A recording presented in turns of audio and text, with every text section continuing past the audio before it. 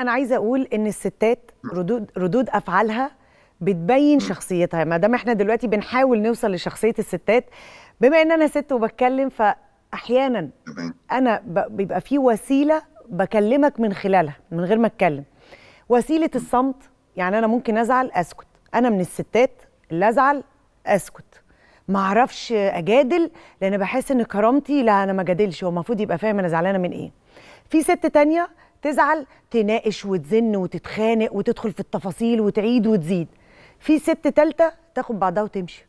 تقول لك لا أنا أنا كده خلاص تمام. أنا مش هقول أكتر من اللي قلته. فدي كلها أساليب وفي ست رابعة تهمل. اللي هو مش أنا يعني مش انت بتحسسني بعدم ال- الاهتمام و...